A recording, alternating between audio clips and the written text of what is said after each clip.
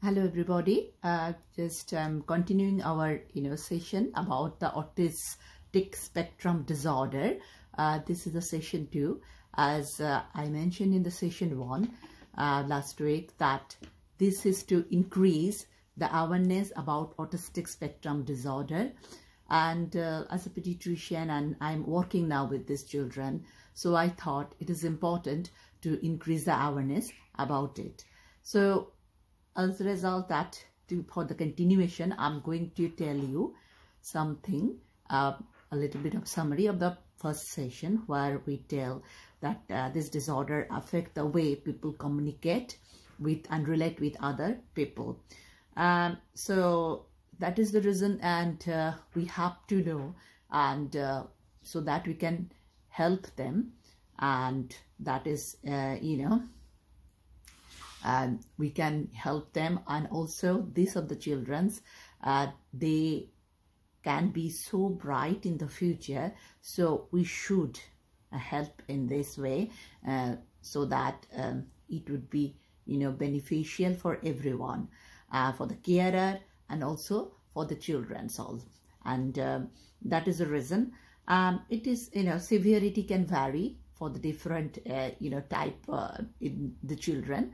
Uh, it can be you know different way it can present.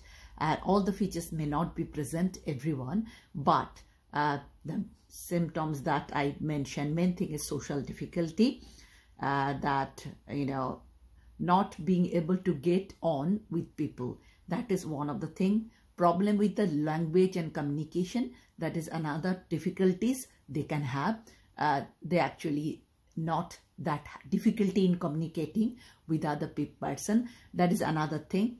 And uh, they can have limited imagination and uh, some of the uh, unusual behavior uh, like you know um, you can see that is repeating over and over same action again obsessions and uh, like these things can also.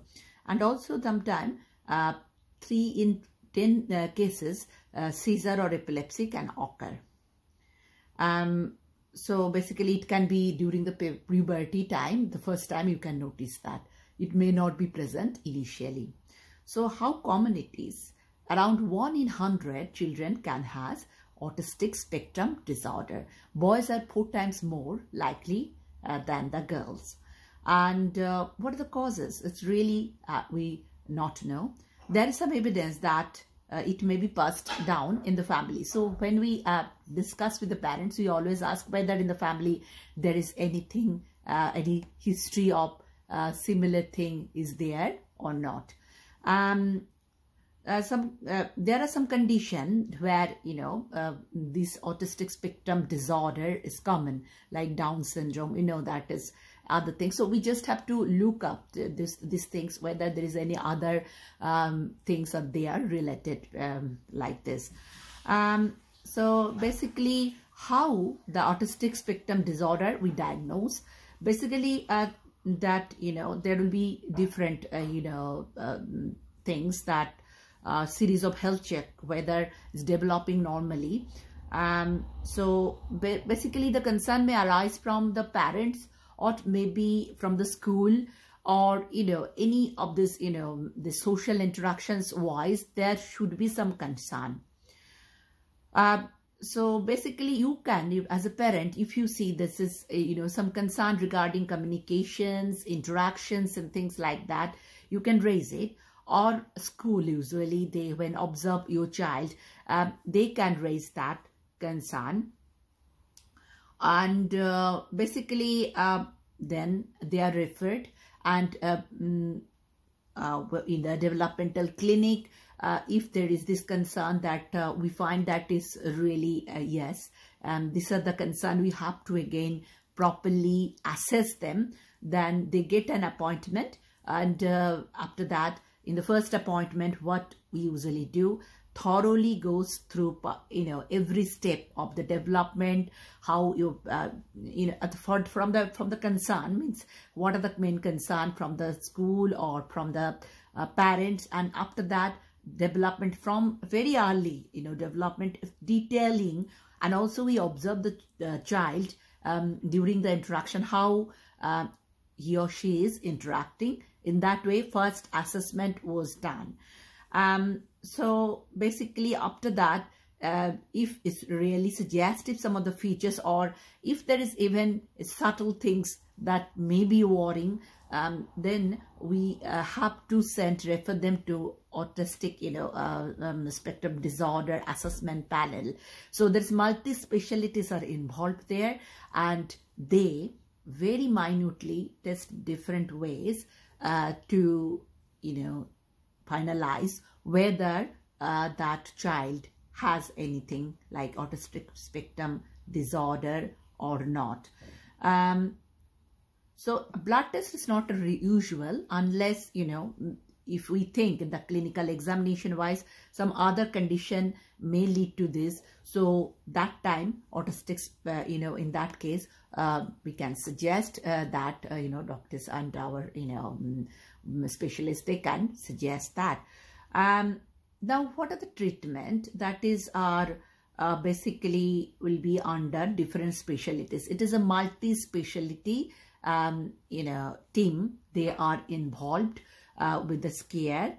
They offer support and um, there may be the school uh, that speech language therapist who are very good in, you know, this uh, helping occupational therapist, educational psychologist, uh, basically, main thing is that uh, school special educational support to help in this with social skill, communication skill, and uh, language skill.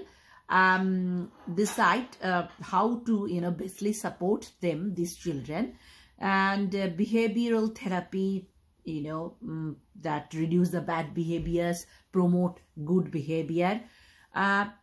Actually, not always medication but sleep problem may be that in that case medication may be uh, you know if there is other psychological issues are there then medication can be related. It is not that medication can you know fix it but if it is uh, supporting their problems if that is needed then um, and of course uh, uh, it is important to know there is no cure of this uh, autistic spectrum and the specialist education and support to maximize the potential of each child to, uh, you know, as they grow into adults. Um, earlier it started, better will be the outcome. Um, so basically, thing you have to know about uh, what is the outlook. It is the a lifelong condition. Um, severity can um, vary and very, very difficult to tell that this child will do these things or things like that and um, very very very difficult you know initially. So all these teams works together to maximize the potential. Um, so uh, some of the adults uh, can manage to work get into uh, get by with just a little support.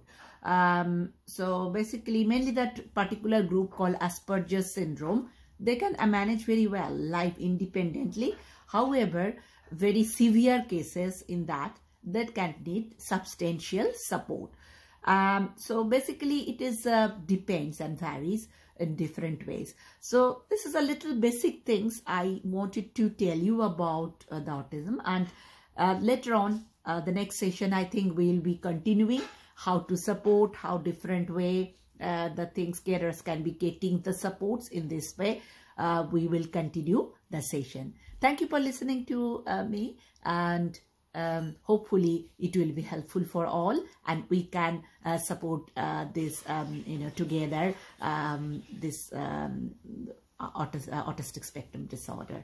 Thank you so much